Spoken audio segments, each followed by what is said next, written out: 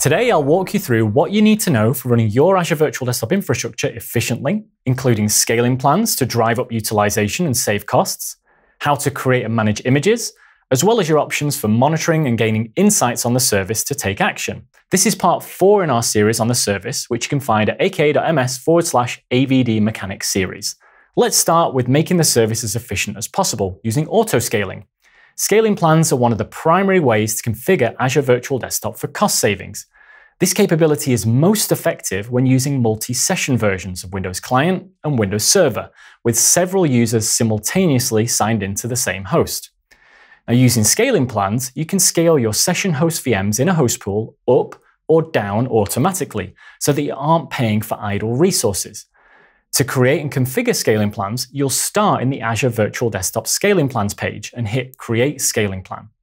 In Basics, you'll define the normal Azure parameters with subscription and resource group, a name, location, and importantly, because these are triggered on schedules, you'll confirm your time zone for this scaling plan.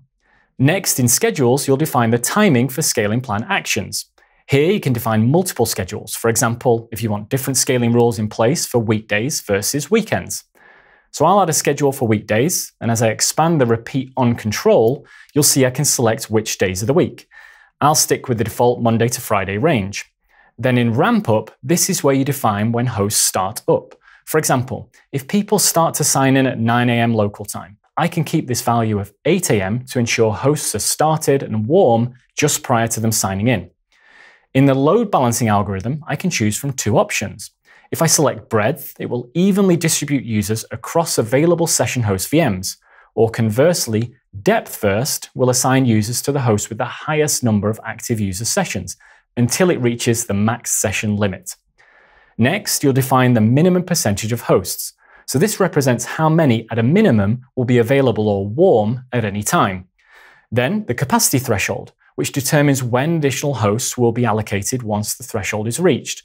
For example, if a host pool supports 100 active user sessions and you've set your threshold to 60%, once the 61st user signs in, another session host will be turned on, so it can be ready for additional users to be allocated to it. In peak hours, you'll define your peak start time. So I'll keep 9 a.m. and I have the flexibility to change the load balancing algorithm here as well during operational run state.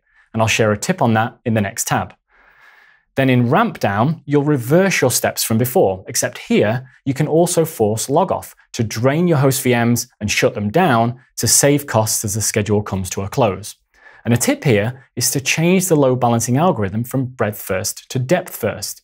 You may begin the day using breadth first to make sure hosts are ready to be signed into in the morning, and keep that option during peak usage. Then move to depth first for ramp down and off peak hours to reduce costs in low utilization periods. Here, you can also define the delay time before logging out users and the notification message that's displayed to your users prior to logging them out. And finally, in off-peak hours, you'll specify the timing and load balancing algorithm there as well. Now we're also rolling out a new option that allows personal, dedicated hosts to use scaling plans. These are also configured as part of scaling plan creation, and you'll add schedules in the same way too. Personal scaling plans allow VMs to start up automatically on a schedule so the user can sign into a warm and running host. Optionally, if a user tries to access a personal host that is not already up and running, if you've enabled Start VM on Connect, the user can still sign in, but it's going to take a little bit more time to get to a session, since it will need to start the VM first. And importantly, you can automatically shut down and deallocate VMs on a schedule when not in use, all based on the parameters you set. And beyond scaling, you can also take advantage of the Azure Savings Plan as well as reserved VM instances, where committing to long-term use can bring you further cost reductions. Now, one more related pro tip here is to apply tagging as you create resources and even apply them against running resources using policy in order to easily track your related spend in Microsoft Cost Management. Now, another primary consideration when operating your Azure Virtual Desktop infrastructure is how you keep your VM images current with required software and configurations in addition to Windows updates.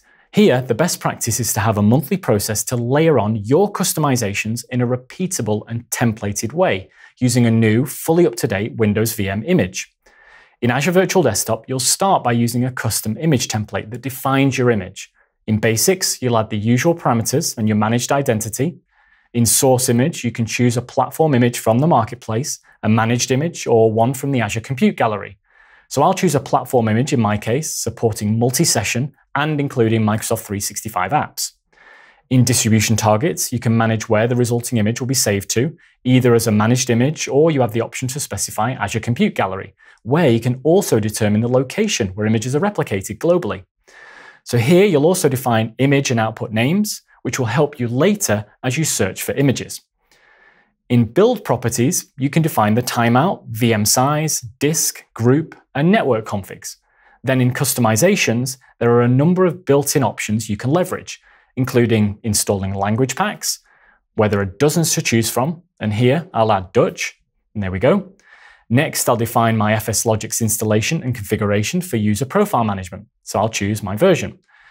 I'll choose a few more scripts here, one for RDP short path, and another for screen capture protection. Then you'll see Microsoft Teams optimizations with client, as well as WebRTC and Visual C++ redistributable requirements to improve voice and video in remote sessions. There are also options for session timeouts. I'll configure time limits for disconnected sessions, idle sessions, active sessions, and time to log off. And I'll add multimedia redirect configurations with all of their prerequisites in these dropdowns. Also, if you want to, you can define application scripts for AppX packages and Office, in addition to options for time zone redirection and installation of any out-of-band Windows updates not already in the monthly image. Then, beyond what's built in, you can optionally include your own custom PowerShell scripts that can run on top of the base image with your app installations and other configurations, like the one I'm choosing here. It just needs a reachable URI path for your script. And as usual, you can add tags, and then you can make sure everything looks good and create your template. Once configured, you'll see your template here. And by selecting the template, you'll be able to start the image build, which sends it to the Azure Image Builder for completion. The Azure Image Builder service then distributes the resulting image with everything specified in your build to the locations defined in the template. So now with best practices in place for scaling and image management, let's take a look at how you can get an end-to-end -end view of how your services are running using Azure Virtual Desktop Insights at scale. We've recently added the capability to see all of your host pools and subscriptions in one view. You can find an entire dashboard of built-in Azure Monitor workbooks, which starts with an overview of your environment with its total capacity to view all services deployed, connection diagnostics to see whether users can connect easily to resources, connection performance to monitor time to connect in near real time, and utilization, which is key to keeping control over costs and helping avoid idle resources. And you can drill into these areas for even more fidelity. For example, in connection diagnostics, you can quickly see the volume of connections to your hosts, and by toggling focus on failures, you get a nice view to help troubleshoot by session hosts, corresponding users, resources or apps, and even RDP client types to help pinpoint issues. Then in connection performance, you'll see one of the most important proof points for quality of service, the round trip times, which are a great measure of network latency for users as they interact with hosts. Typically, a good round trip time is under about 140 milliseconds. So identifying higher round trip times and fixing them is key to better user satisfaction and making remote sessions feel local. Now, another key metric to focus on and a big part of keeping costs under control is utilization. Here you can see a summary of sessions to host pools to see how they're being used, time of day usage patterns, the max number of users per core, available sessions over time, your active session host count along with idle hosts, and finally, monthly active user information. Now, if we bring this back to scaling plans, there are a few specific things you can do with utilization insights to inform them. So here you can see the session history chart. You'll use this view, for example, to identify peaks in session count and also the times these peaks occur. And if you spot repeated patterns, you can use these values as you create minimum and maximum thresholds in your scaling plans and determine when to turn off idle resources. The blue line represents the total number of active sessions, and the red line is a subset of that with idle sessions. So here you can see that idle sessions are proportionally high, so you might want to enforce logoffs using policy to reduce this proportion of idle sessions. Something else to adjust for if you see it are sustained peaks in idle session hosts in the session host count chart. This means that they're not being utilized and some can be turned off during these times. So here you're seeing one on a weekend when we can ramp down. Taking a data driven approach to scaling will ultimately optimize your costs and help achieve the most efficient resource utilization with Azure Virtual Desktop. So these are just a few best practice recommendations for operating and keeping your Azure Virtual Desktop optimized, up to date, and well utilized. And again, this is the fourth in our series on mechanics for Azure Virtual Desktop. So check out the complete playlist where we cover setup and your configuration options at aka.ms forward slash AVD mechanics series. Be sure to subscribe to our channel for future updates, and thanks for watching.